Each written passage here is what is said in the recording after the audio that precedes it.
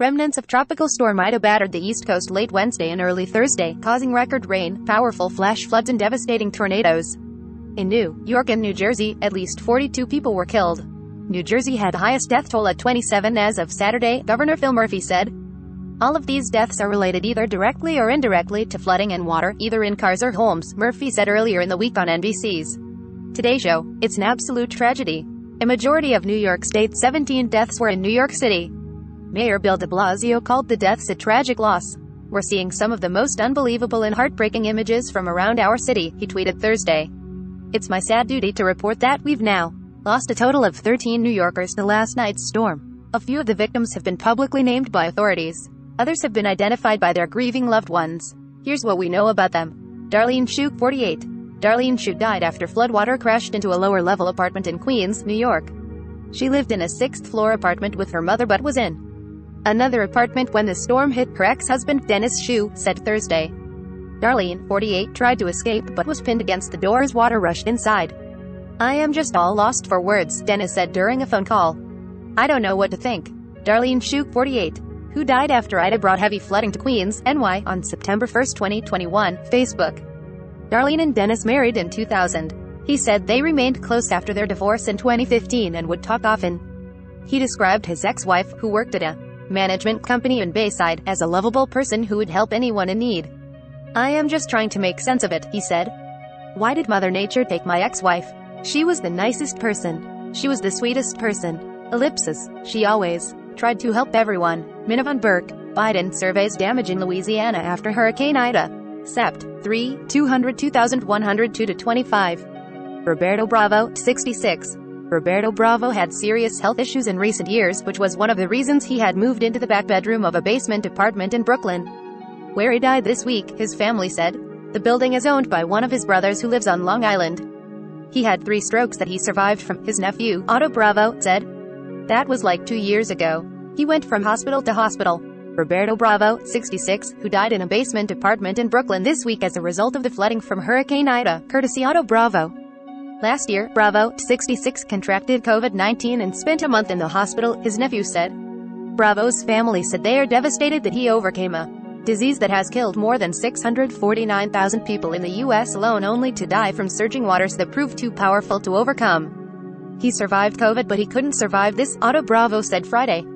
It's horrible, ironic. He said some of his uncle's last words were, Ayúdame por favor, help me please. Otto said his uncle who owned the building where Roberto lived had observed water rushing through some of the apartments from a surveillance camera. He called him to get out of the house, Otto said, adding that Roberto answered the call but missed a follow-up. The family suspects Roberto may have been resting when he received the initial call and was perhaps disoriented. He wake up, I guess too late, Otto said. Two of his uncles went to the building to help Roberto. When they came back the police were pulling out the body, he said. Roberto Bravo was born and raised in Ecuador. At age 20, he went to Venezuela, said his brother Armando Bravo, 59, who lives in Paterson, New Jersey. He immigrated to the U.S. in his 30s, his brother said. Roberto Bravo was the fourth youngest of 11 children, eight boys and three girls. He had three sons, his brother and nephew said. They described him as a hard worker and a good father who was very family-oriented. Armando Bravo said his brother was a political activist of sorts who supported liberal causes.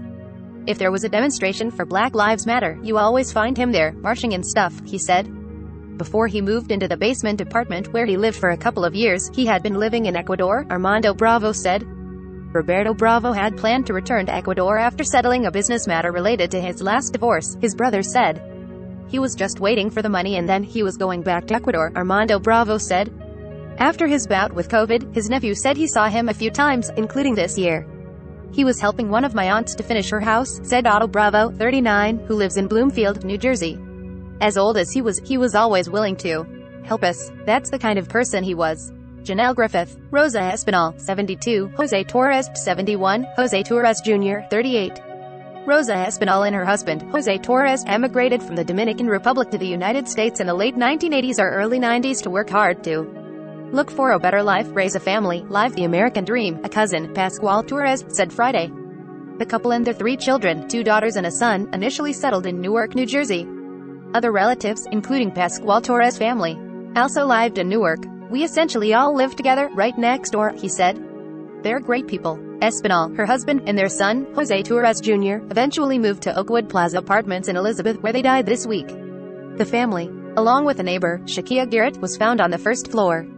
They were just in their home and then the next thing you know, eight feet of water, Pascual Torres said. How do you survive that? He remembered Espinal is dedicated to her family. Her husband worked long hours at a bodega to take care of his children, Pascual Torres said. He had a very strong work ethic. I knew him to work 16, 18 hour days, open to close, just to be able to provide for his family, he said. And she would. Always take care of the kids, take care of us. I spent many of days at their house while my parents worked. The couple's son was like a younger brother, Pascual Torres said.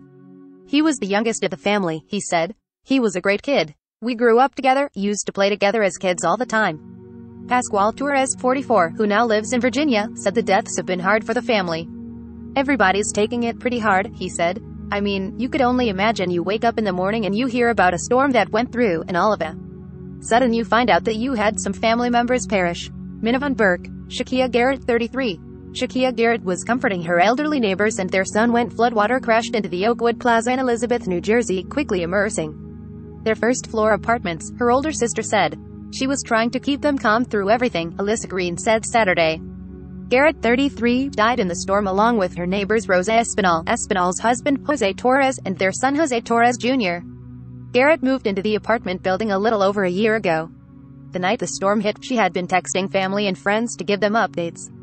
Shakia Garrett, 33, died when floodwater overtook her first floor apartment in Elizabeth City, New Jersey via Facebook. All of a sudden she just stopped texting, said Khadija Naim, a family friend who's known Garrett since she was 9 years old. I'm not thinking anything of it. I'm just thinking maybe she fell asleep or did something else in the house. I keep texting her and I'm like, okay, she'll get back to me. As minutes turned into hours with no response from Garrett, the family began to worry. Green said her father and brother drove to the apartment building to check in Garrett. Just after 5 a.m., Green received a text from her brother. She's gone, the message read. I head over to Oakwood Plaza and the scene, it's crazy. As I approached the apartments, I saw the first one was wide open, the door off and everything. That was inside, the apartment was outside. I stopped right there because then I started to see my brother and my father walk toward me and I didn't see my sister, Green said, crying. Garrett was remembered for having a big heart. Green said she always pulled everyone together during a tough time, including when Green recently lost her. The 33-year-old had recently developed a love for traveling and had returned last month from a trip to Las Vegas with her boyfriend.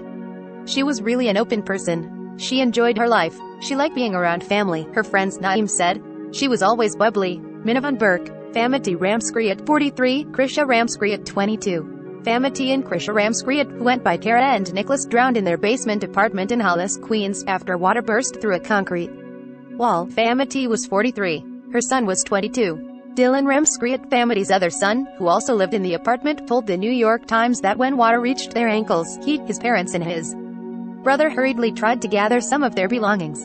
Dylan Ramskriet said the apartment was pitch black as the walls caved in and a fast-moving stream of water swept his father, Dimishwar, across the apartment. I tried to hold on to my wife, and she was trying to hold on to me, Dimishwar, who declined to be interviewed Friday, told The Times. But the water pushed at me away and I couldn't feel her hand anymore.